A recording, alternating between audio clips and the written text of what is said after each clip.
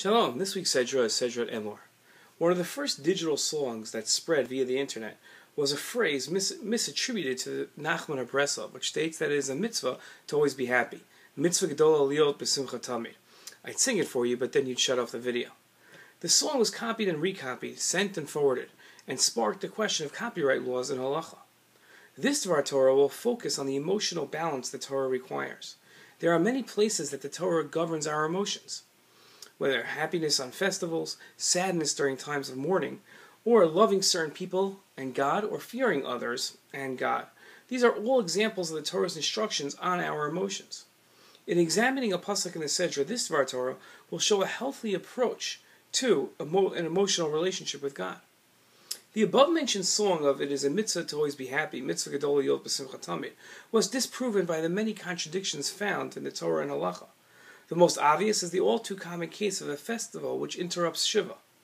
The Talmud's explanation to this familiar case is that mourning and happiness cannot coexist. They're mutually exclusive, thereby disproving the fact that it is always a mitzvah to be happy. Sometimes, in fact, it is a mitzvah to be sad. We relate to God on many different levels communally versus personally, emotionally versus intellectually. And, relating, and when relating to God emotionally, there are the different emotions. One in mourning relates to God through their depression constantly questioning and affirming God's existence. While one in the midst of a festival relates to God through their happiness, relating to God through excitement and enthusiasm. In our Sedra we find a verse, but on the fifteenth day of the seventh month, when you gather in the produce of the land, you shall celebrate the festival of the Lord for a seven day period. Many of our early scholars explain the seemingly extra, extraneous word but that starts the sentence, ach, in the original Hebrew. The Rashbam and Ibn Ezra, among others, explain the word to separate the verses that talk about Yom Kippur and Sukkot. While Sukkot is observed joyously, Yom Kippur is celebrated solemnly.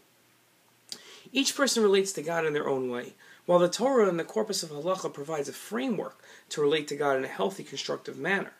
The inner relationship we have with God is one that each person forges on their own.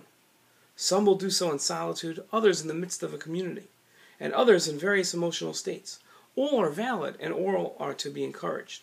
The seeker of God distinguishes the different paths and finds their own. It's a challenge for us this week. Shabbat Shalom.